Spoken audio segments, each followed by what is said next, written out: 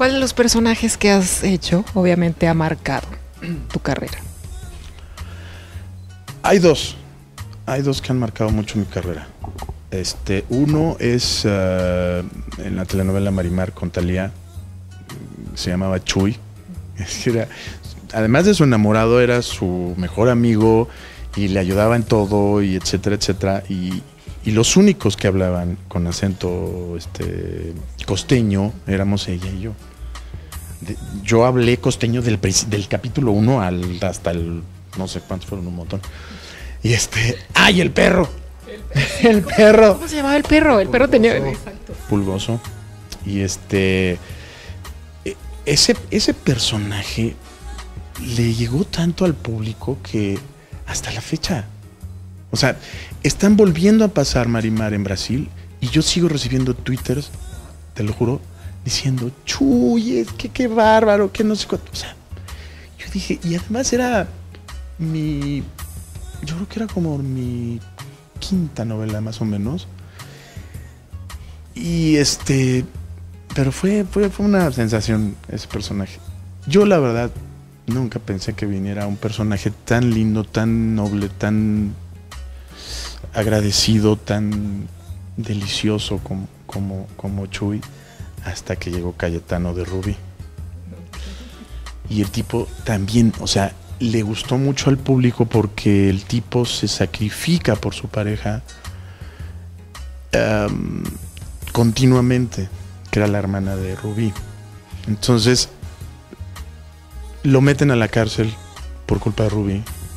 Y cuando lo va a ver su, su esposa, él, le dice, no es cierto, su novia en ese momento, le dice, ya no quiero que me vengas a ver, ya no te quiero.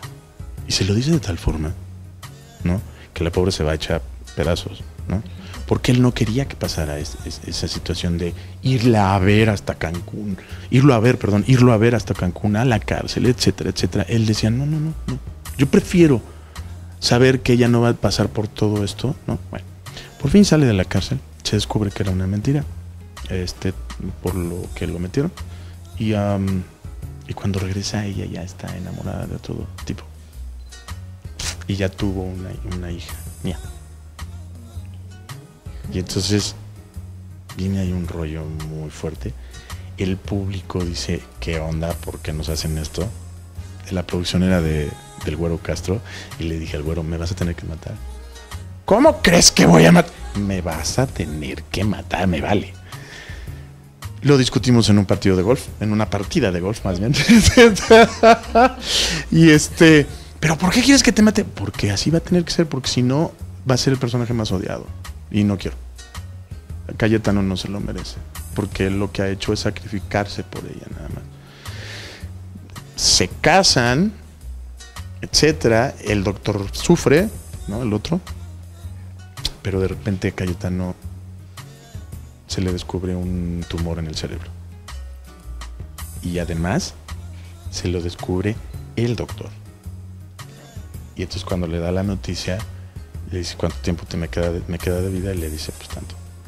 Ok. Y Cayetano le dice nada más que yo te quiero pedir un favor. Bueno, de usted le hablaba. Nada más le quiero pedir un favor, doctor. Sí, sí.